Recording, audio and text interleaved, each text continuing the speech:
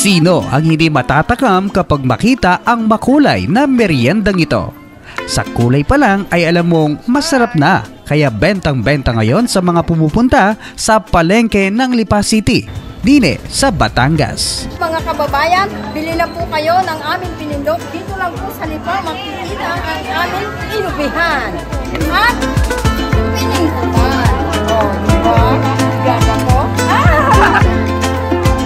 Kahit mainit ang panahon, ay patok pa rin ito sa mga mahihilig sa meriendang Pinoy dahil sa taglay na sarap.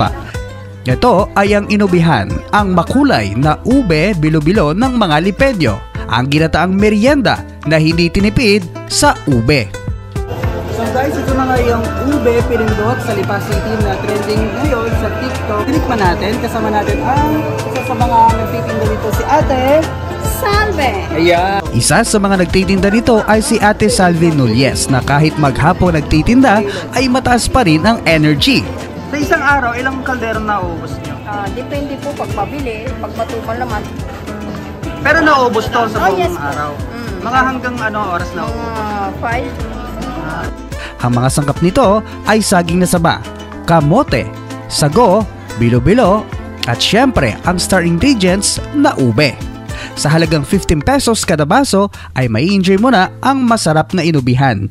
25 pesos naman ang dalawang piraso na nakasupot at 1,200 pesos naman ang kada isang kaldero. Ayon kay ate, palaging ubos ang kanilang masarap na inubihan na nakalagay sa malaking kaldero. Maliban niya sa sikat nilang inubihan, ay patok rin ang kanilang pinindot at binalatungan. Ano po? Binalatungan? Dinalatungan. Bakit? May kasama po siyang Balatong. na silangan. Sila ay katabi lamang ng mga nagbebenta ng iba't ibang kakanin na gawang Batangas. Ayon pa kay ate, mahigit isang dekada na umano siyang nagtitinda nito na gawa naman ng kanyang hipag. Malaking tulong umano ang social media sa ngayon kung bakit mas lalo silang nakilala. Kaya sa mga nais matimusan, ang inubihan ni ate, sinsay lamang din eh sa kanilang palengke sa Lipa City, Batangas. Mula dito sa Batangas, katuwang Citro Plus with Zinc Capsule.